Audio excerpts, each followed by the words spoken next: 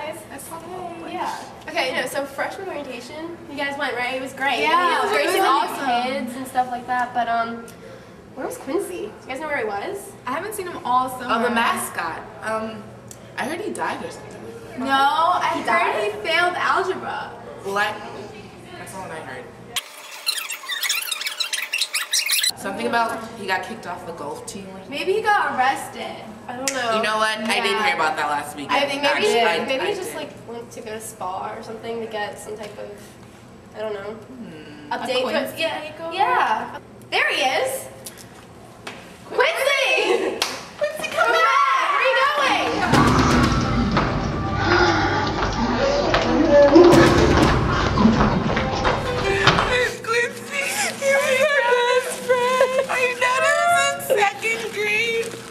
And we dated in third grade.